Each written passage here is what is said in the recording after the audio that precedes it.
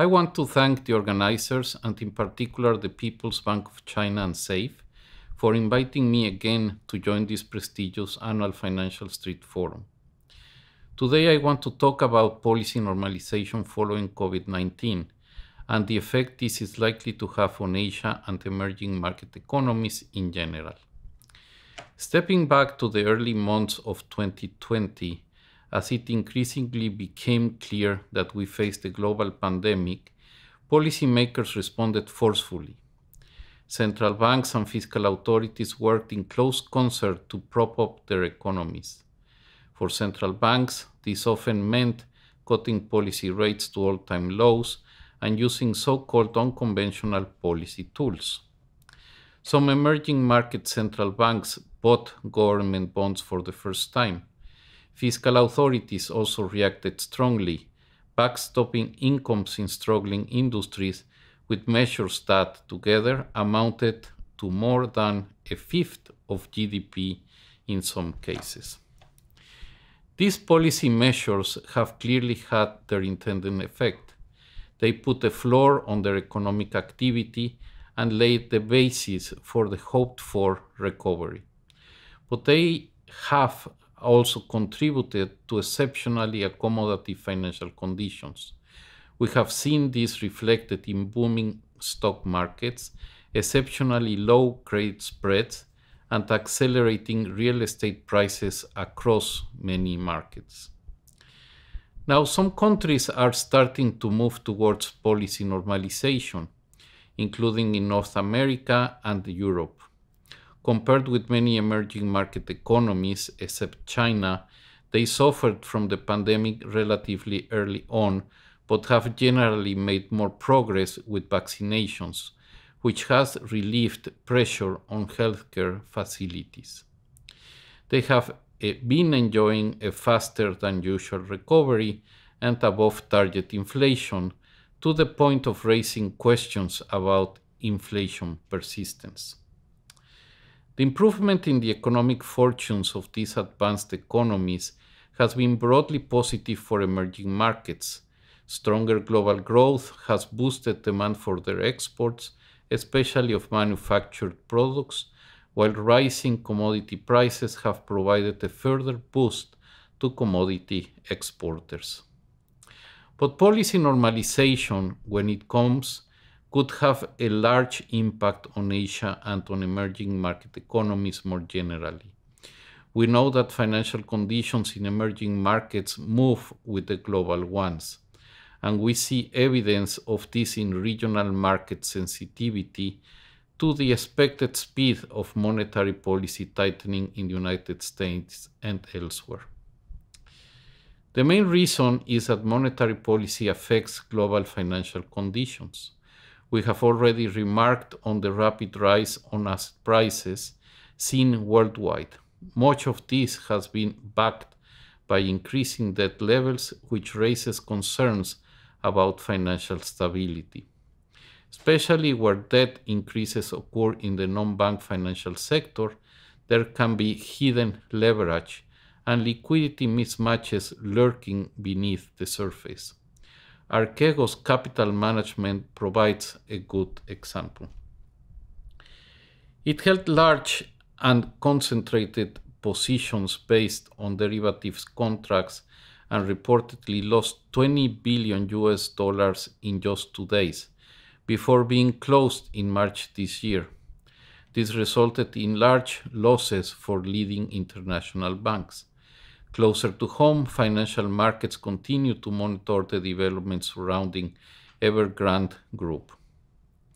Of course, the issue is not about any individual company, since businesses fa failing are a fact of economic life. Instead, it is about the systematic growth of debt that we have seen across economies and indeed the world. Just how vulnerable are emerging markets to tightening global financial conditions? Well, that depends. The taper tantrum of 2013, when there were signs that the Federal Reserve would reduce its quantitative easing program introduced in the wake of the great financial crisis, provides one example of this. It saw capital outflows from many emerging economies, large exchange rate depreciations, and a sharp rise in funding costs. So, are we destined to see a repeat, a taper tantrum 2.0 this time? Not all such episodes are alike. The consequences of policy normalization depend on both underlying economic conditions and the policy responses. Today, emerging markets are better placed to withstand tightening global financial conditions than in the past.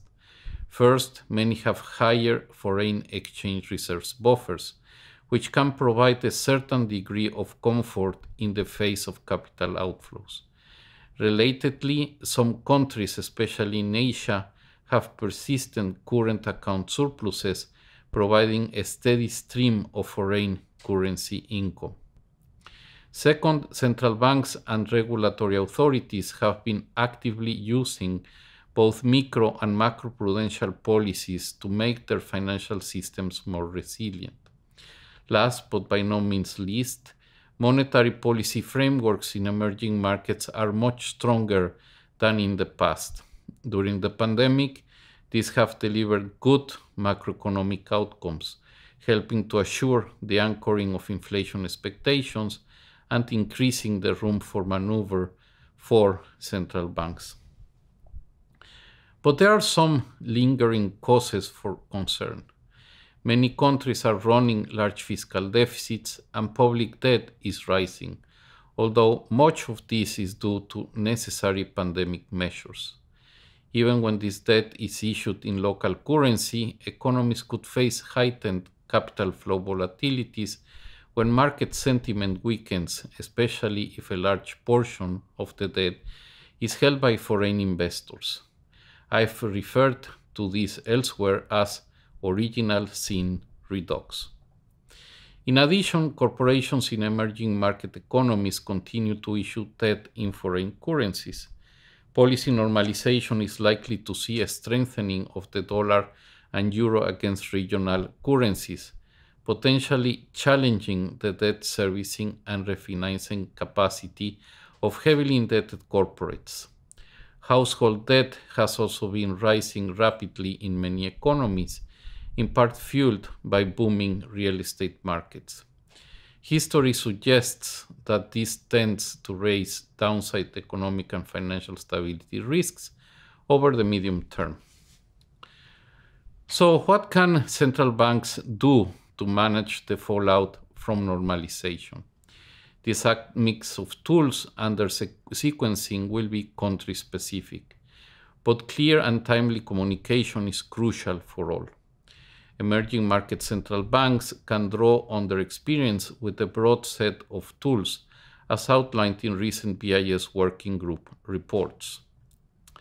First, foreign exchange intervention can serve as a line of defense against excessive currency volatility, supported by capital flow management tools if needed.